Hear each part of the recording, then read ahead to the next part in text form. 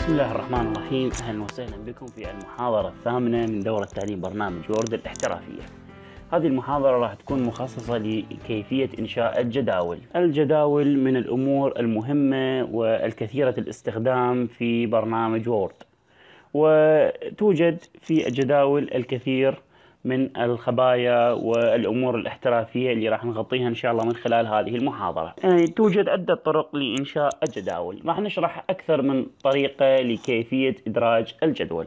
طبعا آه، عملية الجدول تدرج من خلال آه، صفحة إدراج وبعدين جدول. آه، أول طريقة هي الطريقة السريعة، الطريقة البسيطة، طبعا هذا كل عمود أو كل مربع يمثل لي عمود عمودين ثلاثة. طبعا المربعات الأفقية هذه المربعات الأفقية تمثل الأعمدة والمربعات العمودية تمثل الصفوف. يعني عمود أول ثاني ثالث رابع خامس سادس. وإذا نلاحظ آه، في آه، الورقة أنه كل زيادة مربع باللون البرتقالي راح يزيد لنا عمود باللون الأسود على الورقة. ونقدر نحدد عمود وصف مثلا صفين ثلاثة وأقدر طبعا أكون مجموعة أعمدة مثلا مجموعة أعمدة وألاحظ في الأعلى بالشريط أنه تطلع لي ثلاثة في عشرة يعني معناتها ثلاث صفوف في آه، عشر أعمدة. فطبعا وهكذا آه، عند آخر عمود أو عند آخر آه، صف نقدر نحتسبه نضغط كليك أيسر راح يتكون الجدول. هذه طبعا الطريقة الأساسية والسريعة لإنشاء الجداول. فيما يخص آه، عملية كتابة البيانات داخل الجدول طريقة سهلة نضغط على أي خلية. طبعا الخلية هي هذه. الخلية عملية تقاطع صف مع عمود راح تكون لنا الخلية. أضغط على الخلية وأكتب بها الكتابة اللي أريدها وأقدر أنتقل من خلية إلى خلية أما بالمفتاح تاب يا أما آه، بالسهم يا أما بالأسهم يا أما بالمفتاح. تاب آه، جدا سهلا. نعيد عملية إدراج الجدول. حتى نحذف الجدول نحدد الجدول تحديد الجدول طبعا بالضغط والسحب ونضغط على المفتاح Backspace من ال keyboard. راح ينحذف الجدول. هذه آه، إحدى طرق حذف الجدول. طبعا حتى ندرج جدول يتكون من خمس أعمدة. وست صفوف. طبعا نروح على إدراج جدول. نحسب قلنا هذا عبارة عن عمود. اثنين ثلاثة أربعة خمس أعمدة. ست صفوف هذا الصف الأول محدد. اثنين ثلاثة أربعة خمسة ستة. وإذا ألاحظ أنه آه هذا الجدول مكون لي من ست صفوف وخمس أعمدة. مثلا اثنين ثلاثة أربعة خمسة. وأقدر مثلا بالصف الأول آه، مثلا التسلسل الاسم آه، مثلا الاختصاص آه، المواليد السكن. أقدر مثلا واحد اثنين ثلاثة أربعة خمسة. ممكن الأسماء نكتب مثلا أحمد ممكن علي. مثلا آه هذا الجدول بعد ما مليناه. طبعا نقدر ننسق على هذا الجدول من خلال التحديد ومثل ما تعلمنا بالمحاضرات الأساسية. ونقدر نستخدم الأمر نسخ التنسيق ونلصقه على بقية الصفوف. طبعا نقدر أيضا ننطي آه، لون خط آه، لون تعبئة مثل ما تعلمنا. ممكن العمود الأول ننطي لون تعبئة مثلا رصاصي فاتح. نقدر آه، طبعا آه، ننطي مثلا حجم خط 14 ونقدر نسوي محاذاة. حجم خط 14 مثلا ونقدر محاذاة إلى الوسط وصار عندنا جدول مثل ما تعلمنا. حتى نحذف الجدول طبعا أكو عندنا عدة طرق. يا إما نحدد الجدول وباك سبيس يا إما نحدد الجدول وكليك أيمن على أي مكان بالجدول ونختار حذف جدول. هذا فيما يخص الطريقة السريعة. فيما يخص إدراج الجداول الكبيرة من خلال إدراج جدول وإدراج جدول. طبعا راح يطلب من عندنا عدد الأعمدة وليكن خمسة. عدد الصفوف وليكن مية. موافق. ألاحظ أن الجدول راح يتكون من خمس أعمدة في 100 صف. طبعا نقدر مثلا تسلسل الاسم مثلا آه خلينا نقول الاختصاص المواليد والسكن. فلو احتاجينا إضافة آه عمود بين الاسم والاختصاص طبعا آه نضغط كليك أيمن على الاختصاص ونختار إدراج. طبعا راح يطلب من عندنا إدراج يا أما أعمدة إلى اليسار يا أما أعمدة إلى اليمين يا أما صفوف إلى الأعلى يا أما صفوف إلى الأسفل. في حال إنه أنا احتياجي لمن أريد أضيف عمود فإذا العمود راح يكون بين الاختصاص والاسم. بما إنه أنا محدد الاختصاص وعلى يمين الاختصاص فإذا راح أقول اختصاص فإذا راح يكون إدراج أعمدة إلى اليمين. وألاحظ إنه هذا العمود اندرج إلى اليمين وممكن نقول مثلا محل الولادة. وهكذا. لو فرضا أنا ردت أضيف بين محل الولادة والاختصاص عمود أنا محدد محل الولادة فالعمود الجديد اللي راح ينضاف راح يكون على يسار العمود اللي أنا محدده. فاضغط click أيمن على العمود وأختار إدراج ومن ثم إدراج أعمدة إلى اليسار وانضاف لي عمود ممكن أسميه سنة التخرج. هذه فيما يخص الأعمدة. طبعا فيما يخص الصفوف نفس طريقة إدراج الأعمدة سهلة. مثلا عندي اني واحد اثنين ثلاثة أربعة. فحتى أريد أضيف صف بين اثنين وبين واحد. لو فرضا اني ضاغط على واحد click أيمن. وإدراج طبعا إدراج صفوف راح يكون هنا. يا أما إلى الأعلى أو يا أما إلى الأسفل. بما أنه أنا أريد أضيف صف بين اثنين وبين واحد فأختار صفوف إلى الأعلى. في حال لو اردت أضيف صف أسفل رقم اثنين. فأختار صفوف إلى الأسفل من إدراج وإدراج صفوف إلى الأسفل. العملية سهلة جدا فقط تحتاج القليل من التركيز. فيما يخص الطريقة الثانية لإدراج الجداول. الطريقة الثالثة وهي طريقة احترافية جدا آه، طبعا نضغط زائد ويساوي زائد يساوي زائد يساوي زائد. بما أنه كل زائد هي خط لبداية عمود وخط بداية عمود وخط بداية عمود وكل عمود يتكون من اثنين زائد أو من اثنين خط. فاذا عندنا هذا عمود أول هذا عمود ثاني هذا عمود ثالث. بعد ما نضغط الزائد نضغط على المفتاح Enter راح يتكون لنا صف. حتى أزود عدد الصفوف أضغط على المفتاح Tab لل keyboard راح يصير عندي عدد الصفوف. لو فرضا احتاجت أن أضيف آه، عمود جديد click أيمن وأختار إدراج أعمده إلى اليسار. وهكذا. فيما يخص حذف عمود أقدر اضغط click بالعمود اللي أنا أريد أحذفه. وطبعا لاحظ راح تنضاف عندي صفحتين جديدة صفحة تصميم وصفحة تخطيط. ومن صفحة تخطيط حذف وأختار حذف أعمده. راح ينحذف العمود اللي أنا محدده أو اللي أنا كليك بيه مثل ما تلاحظون المؤشر. لو فرضا ردنا نقسم الاعمده واحد اثنين ثلاثة ونلاحظ إنه العمود رقم ثلاثة أريد أحذفه. اضغط كليك بأي مكان بالعمود رقم ثلاثة وأروح على قائمة تخطيط وحذف وأختار حذف أعمدة. أريد أحذف العمود رقم واحد حذف وحذف أعمدة.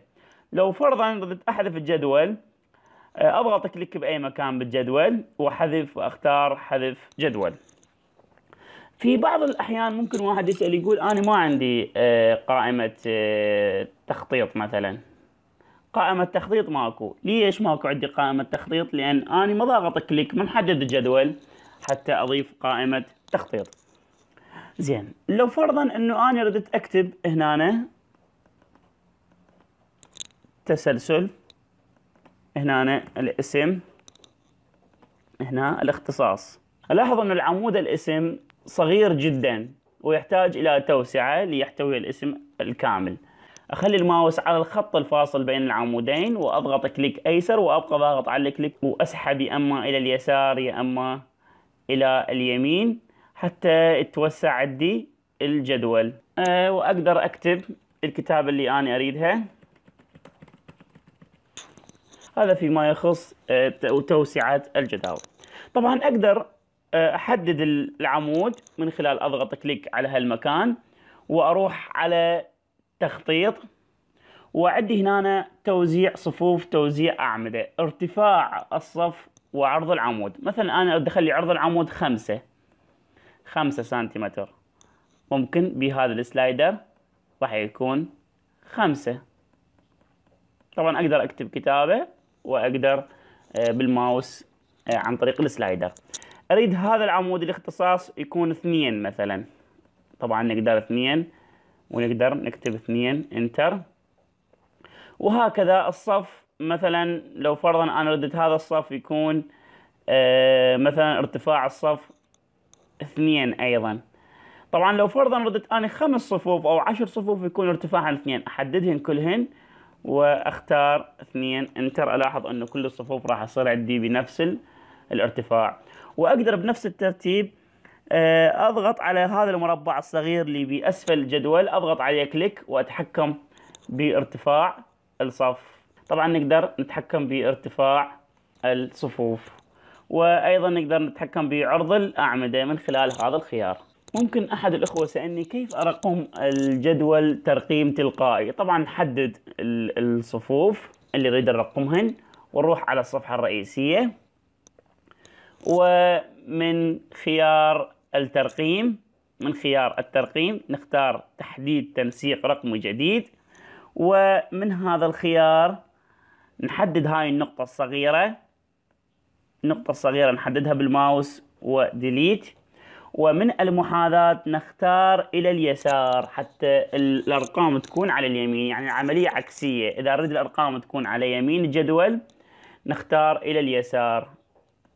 نلاحظ أنه الترقيم آه، أصبح تلقائي ولمن أضيف صف جديد مثلا إدراج إدراج صفوف إلى الأسفل راح ألاحظ أنه هذا الصف راح يترقم. وطبعا أقدر أضغط على آخر خلية والمفتاح تاب أقدر أضيف صف جديد. مثل ما تلاحظون صف جديد. وكل صف راح ينضاف راح يترقم ترقيم تلقائي. حتى ألغي الأرقام أحدد الصف أو الصفوف مجموعة الصفوف اللي مرقمة.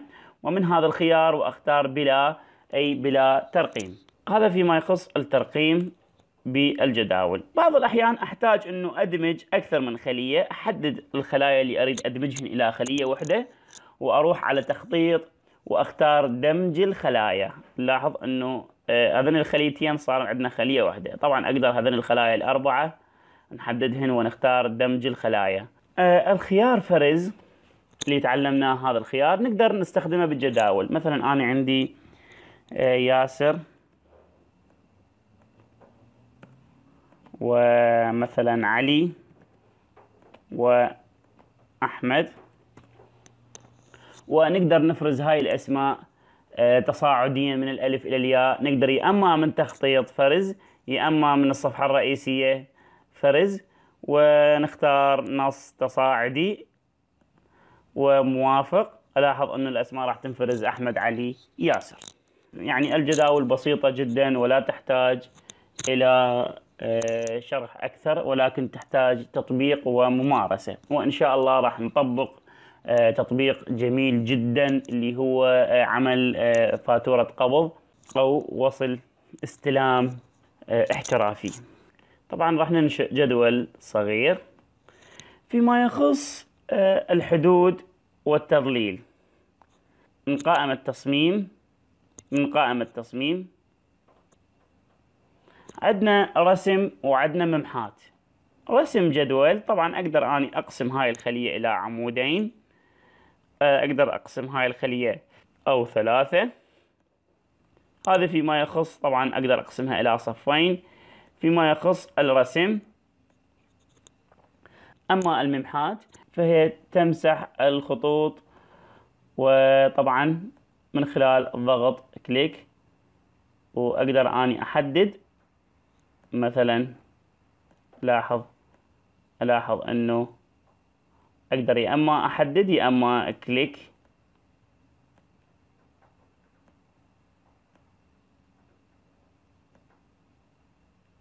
ألاحظ إنه صار عندي هذا جدول.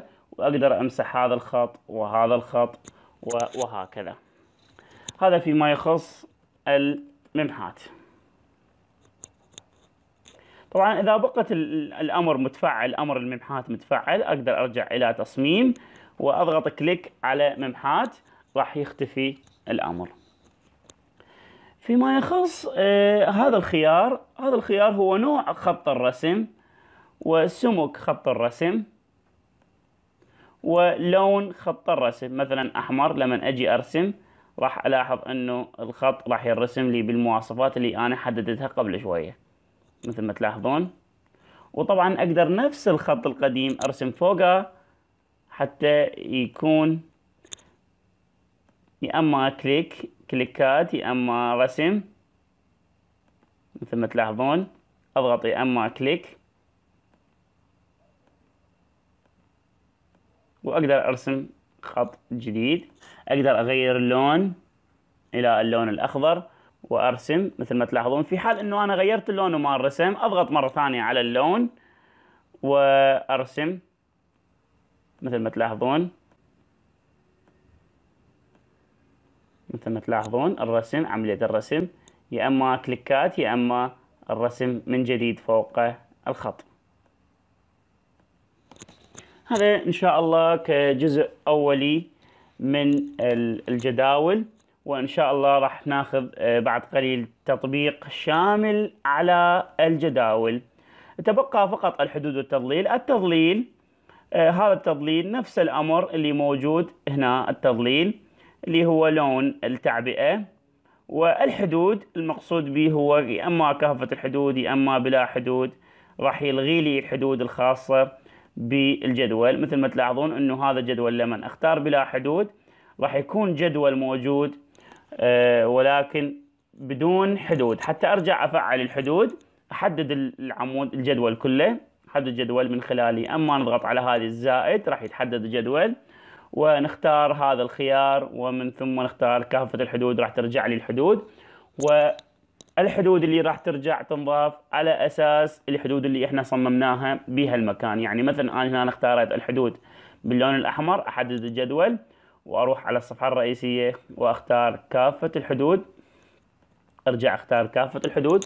راح ألاحظ إنه الحدود صارت باللون الأحمر. طبعا تطبيق اليوم راح يكون آه، تصميم فاتورة شراء احترافية وبسيطة في نفس الوقت.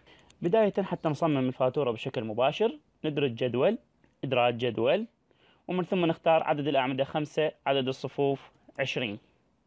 موافق. الخطوة التالية آه، تنزيل الجدول إلى الأسفل. بعدها آه، نحدد الجدول. طبعا كبر حجم الورقة ونحدد الجدول. ومن الصفحة الرئيسية نختار حجم الخط 14 بولد 14 بولد ممكن. ومن تخطيط نختار هذا الخيار اللي هو محاذاة إلى الوسط. نختار محاذاة إلى الوسط. الخطوة التالية هي تحديد الجدول من هذا المربع اللي هو علامة الزائد. نحدد الجدول. ومن ثم تصميم ومن ثم من حدود. ونختار حدود وتضليل. ومن ثم ننتبه نفعل الخيار الكل. نفعل الخيار الكل. ونختار هذا الخيار اللي هو الخطوط المنقطة ومن ثم موافق. تحول عندنا جدول إلى آه، خطوط منقطة. بعدين مثل ما تعلمنا نجي نرسم نختار نوع الخط مثلا هذا النوع ونختار حجم الخط آه، مثلا ممكن نختار هذا نوع الخط وحجم الخط نختار ثلاثة نقطة ولون القلم نختار هذا اللون اللي هو اللون التركوازي. بعدين نجي نرسم الإطار مثل ما تعلمنا.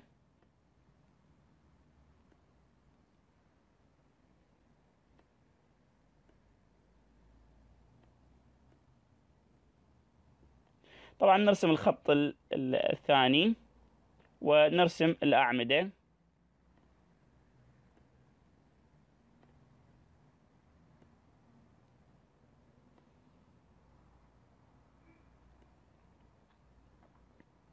ممكن هذا الخط أيضا نحدده. تمام. بعدين نلغي الأمر. آه نحاول أنه هذا العمود من خلال السهم طبعا نخلي الماوس بالطرف الأعلى للعمود راح يطلع لنا سهم.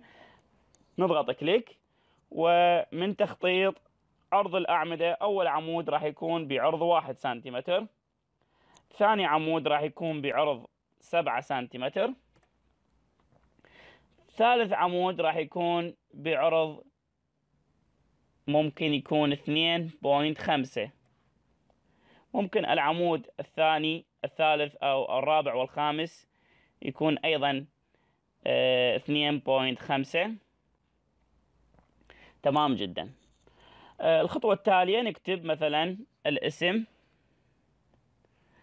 التفاصيل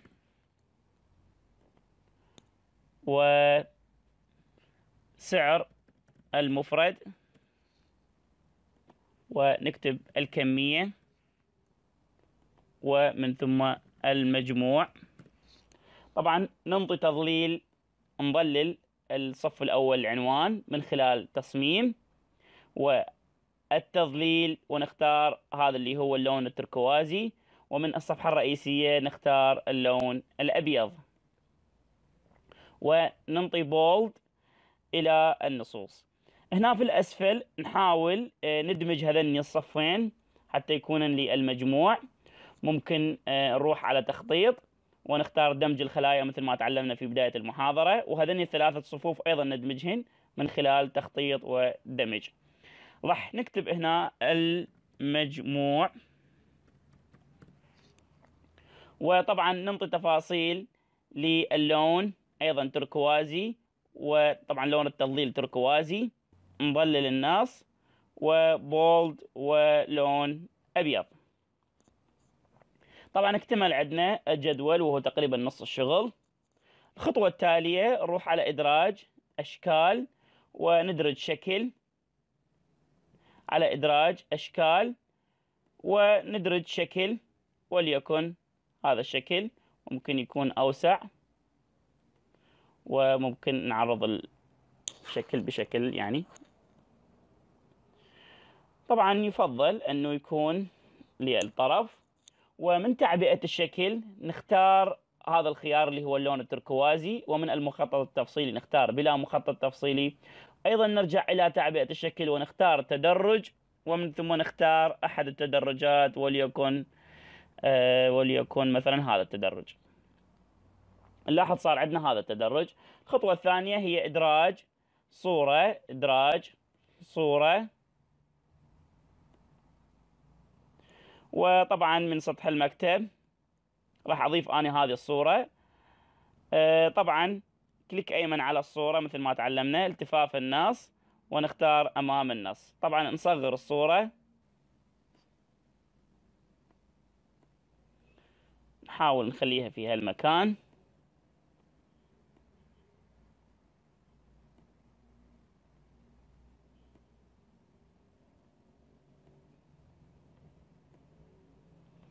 هذه تكون صورة لشعار المؤسسة آه، اللي ينتمي إلها هذا الوصل. طبعا نكتب هنا بهالمكان من خلال إدراج مربع نص. نكتب اسم المؤسسة اللي هذا الوصل راح ينبثق من عندها. مثلا أنا راح أكتب عالم عالم بهاء الاحترافي ونكبر حجم الخط.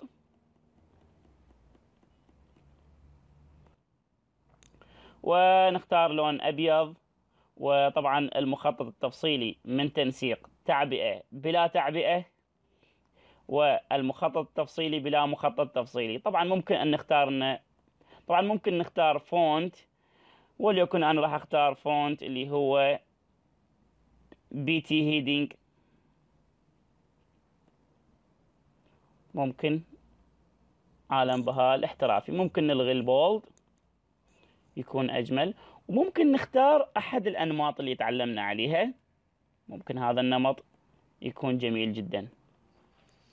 عالم بهاء الاحترافي. ممكن أضيف مربع نص آخر وأكتب وصف للمؤسسة. مثلا أقول موقع موقع إلكتروني مختص بتعليم الحاسوب وتقنياته. طبعا ممكن إنه آه، ننطي التنسيقات مثلا بولد حجم 16 أو 14 وتوسيط. ممكن ممكن نختار 16 ونلغي التعبئة والمخطط التفصيلي مثل ما تعلمنا. من تنسيق التعبئة بلا تعبئة والمخطط التفصيلي بلا مخطط تفصيلي ونحدد النص ونخلي اللون أبيض. الخطوة التالية إدراج مربع نص ونضيف بهالمكان الحجم يكون 14 bold واللون لون الخط يكون اللون التركوازي. وأكتب مثلا التاريخ slash space slash space وأكتب مثلا 2000 وأخلي فراغ حتى يكون متغير 2016 17 18 وهكذا. وأنزل إلى الأسفل وأكتب السيد. وأخلي نقاط. وبنهاية النقاط اكتب MS أو MS نقطتين حتى يكون عربي إنجليزي. طبعا نحاول نوسع النقاط حتى يكون بنهاية. تمام جدا. يفضل إنه هذه النقاط يفضل إنه هذه النقاط نستثنيها من البولد حتى تكون فاتحة والكتابة تكون بشكل أوضح. تمام جدا. ممكن ننزلها إلى الأسفل ومثل ما تعلمنا من تنسيق تعبئة الشكل بلا تعبئة المخطط التفصيلي بلا مخطط تفصيلي. طبعا ندرج مربع نص جديد من إدراج مربع نص. ونكتب مثلا NO اللي هو رقم الوصل. وطبعا بما أنه عندنا انجليش راح يكون المحاذاة إلى اليسار أو ممكن نخلي المحاذاة إلى اليسار. وننزل هنا إلى الأسفل نكتب الموافق. طبعا نكبر حجم الخط. ونكتب الموافق. وسلاش سلاش ومثلا ألف وأربعمية ونخليها فراغ ونكتب هجرية. طبعا نوسع شوية مربع النص نظلل كل النص الموجود بداخل هذا المربع النص.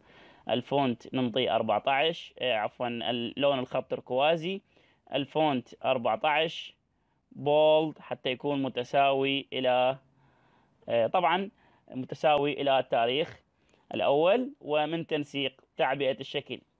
بلا تعبئة المخطط التفصيلي بلا مخطط تفصيلي ونحاول آه، نرفع في المكان تقريبا.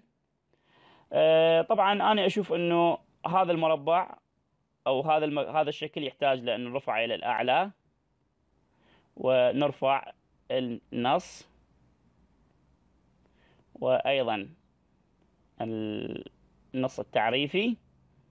والشعار. وبالتالي نرفع النص الأول ونرفع النص الثاني. ممكن. وبالتالي نكتب بمربع نص جديد. بهالمكان ممكن تكون فاتورة. نكتب فاتورة نقدية. نكتب الاسم بالإنجليش. طبعا نختار في التنسيق معين وليكن حجم الخط 18 بولد توسيط مثلا. وممكن إنه بالأعلى يكون اللون تركوازي بالعربي وبالإنجليش يكون اللون مثلا آه، اللون البرتقالي. طبعا مثل ما تعلمنا من تنسيق تعبئة بلا تعبئة آه، المخطط التفصيلي بلا مخطط تفصيلي وممكن نضيف خط جميل يفصل بين العربي والإنجليش وممكن من المخطط التفصيلي الوزن نختار فد وزن معين وليكن هذا الوزن وممكن آه، يكون بلون ممكن يكون بلون تركوازي. وطبعا يفضل أن يتوسط المسافة. تبقى عندنا هذا الجدول ممكن نرفعه إلى الأعلى. تبقى عندنا هذا الجدول. طبعا نحاول ننتبه أن يكون مربع النص آه، بقدر مسافة النص. يعني إذا عندنا هذا الزيادة نحاول نقلص بحجم مربع النص حتى ليت حتى لا يندمج ويا الجدول. ونحاول نرفع الجدول بهالمكان. بعدها نحاول نوسع آه، مساحة الصفوف من خلال مد الجدول إلى الأسفل. ممكن نمده بعد إلى الأسفل. وبعدها نضيف مربع نص إدراج مربع نص. ونكتب مثلا بهالمكان اسم المستلم. ونقاط مثلا. ومسافة ونكتب التوقيع. ممكن أيضا نخلي نقاط. وبنفس التنسيق حجم 14 بولد آه، وبلون تركوازي. ممكن إنه هذه النقاط الخاصة بالتوقيع نحاول نقلصها قليلا. تمام. ممكن نستثني النقاط من البولد مثل ما سويناها بالأعلى. وأيضا مثل ما تعلمنا من تنسيق تعبئة الشكل بلا تعبئة والمخطط التفصيلي بلا مخطط تفصيلي. تبقى إدراج تبقى إدراج شريطين في الأسفل. ممكن أن يكون هذا الشريط الأول. طبعا يكون بلون آه، تركوازي ومخطط تفصيلي بلا مخطط تفصيلي وناخذ نسخة أو ممكن نحاول نوسع العرض.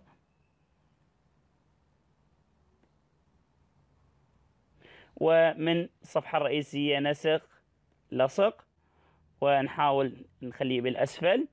ومن تنسيق تعبئة الشكل راح نختار هذا اللون اللي هو التركوازي البرتقالي. والمخطط التفصيلي بلا مخطط تفصيلي. تمام جدا.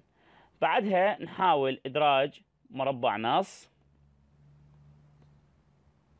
ونكتب مثلا بندرج من إدراج مربع نص. نكتب مثلا بهالمكان نكتب مثلا الغلط.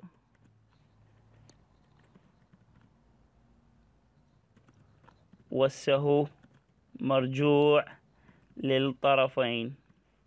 وممكن إنه يكون بلون أبيض وبتنسيق بلا تعبئة والمخطط التفصيلي بلا مخطط تفصيلي وممكن أن يكون توسيط. ونخليه بالمكان بالوسط تقريبا. ممكن يكون عشرة وبولد هذا فيما يخص الغلط والسهو. ممكن ننزله إلى الأسفل. طبعا ممكن ناخذ نسخة ولصق ونخليه بالأسفل. ونكتب مثلا آه العنوان. عنوان يكتب هنا عنوان المؤسسة. ممكن نكبر العرض شوية حتى تشوفونه. ممكن عنوان المؤسسة. مسافة مثلا البريد الإلكتروني. طبعا ونكتب عنوان البريد الإلكتروني. ممكن رقم الهاتف. ونكتب رقم الهاتف. وممكن اسم صفحة الفيس بوك. آه، تبقى خطوة أخيرة وهي إضافة اسم المصمم من خلال مربع نص إدراج مربع نص ورسم مربع نص. وبالأسفل نكتب اسم المصمم. مثلا أنا راح أكتب تصميم تصميم مثلا بهاء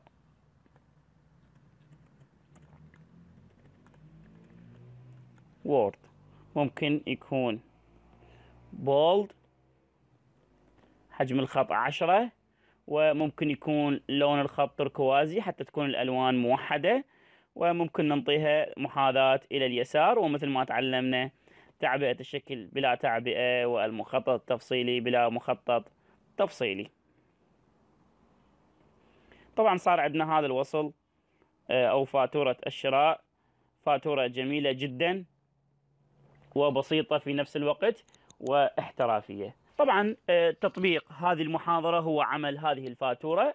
الألوان يفضل أن تكون نفس الألوان مع تغيير الشعار آه، أو إذا يعجبكم تخلون الشعار نفسه ماكو مشكلة.